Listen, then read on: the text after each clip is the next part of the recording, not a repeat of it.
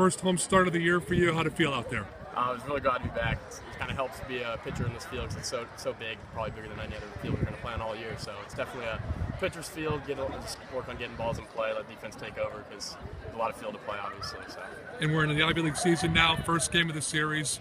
Big job by you today. Uh, talk about your performance and getting the series off in the right start. yeah, I was glad I was able to close it down.